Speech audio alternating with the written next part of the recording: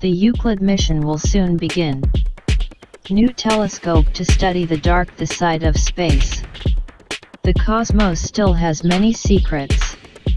One of the those that have intrigued astronomers for years are undoubtedly dark matter and its a dark energy. Among other things, they will become the target of Euclid's research, in a few days he will go into space. Soon, an extraordinary observatory will be sent in space to study the dark side of the cosmos. The Euclid telescope has been designed to map the universe. Its main goal is understanding the nature of dark energy and dark matter through accurate measurements accelerated expansion of the universe by various independent methods. The European Space Agency has announced that July 1st in the Euclid telescope will be launched.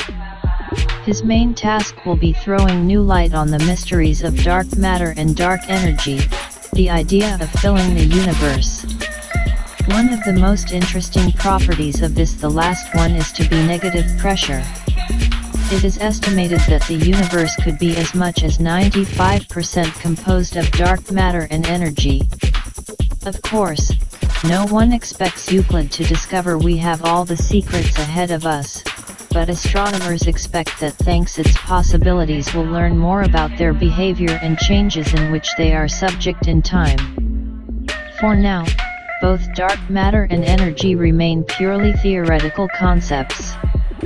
However, they are already needed, that scientists can explain some of the governance mechanisms it's the universe.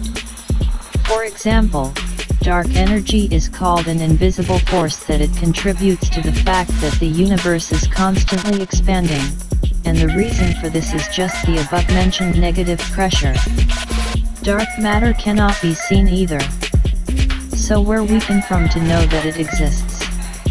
It can be inferred from the way they move other visible space objects near it. They are influenced the gravitational field of this invisible matter. Euclid telescope will be launched into space by the SpaceX-owned Falcon 9 rocket.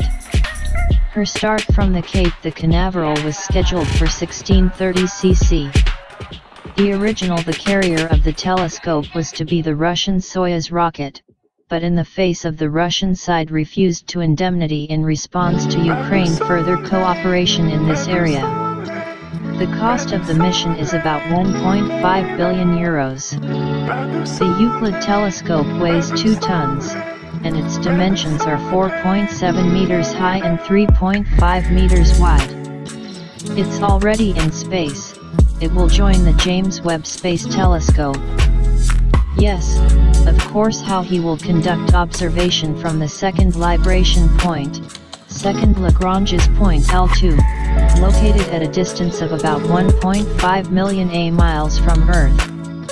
Euclid's possibilities are really impressive because it will he is able to look at places away from Earth by as much as 10 billion years the lights.